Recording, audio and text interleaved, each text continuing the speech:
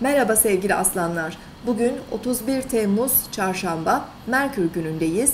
Aile içi iletişimin artmaya başlayacağı bir gün olabilir. Yakın aile çevresiyle ilişkiler olabilir veya maddiyatla ilgili e, birçok konu üzerinde bugün görüşebilirsiniz, tartışabilirsiniz.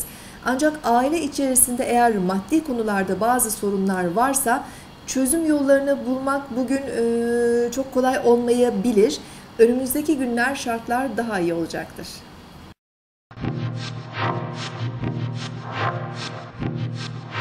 Burcunuzu dinlediniz. Bugün 31 Temmuz Çarşamba, Merkür günündeyiz. Ay Boğa burcunda ve boşlukta ilerliyor. Gün boyu enerjimiz biraz düşük olabilir. Rehavet ve ağırlık hissedebiliriz. Bu nedenle günlük işlerimiz de biraz yavaşlayabilir. E, verim düşebilir. E, gün içerisinde Mars-Uranüs arasında da oldukça riskli olan kare açı e, söz konusu olacak. Bu açı etkisi kazalar, tartışmalar ve şiddet olayları gündeme getirebilir. Öncü grup burçlar Koç, Yengeç, Oğlak ve Terazi burçları e, bu enerjiyi daha yoğun hissedebilirler.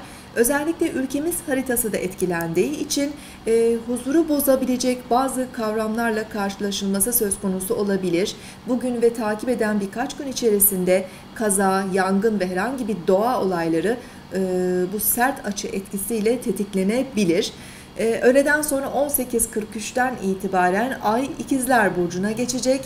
İkizler Burcu'nda artık daha hareketli enerjiler vermeye başlayacak. Akşam saatlerinde iletişim ve haberleşme trafiği biraz daha artış gösterebilir. Yarın tekrar görüşmek üzere. Hoşçakalın.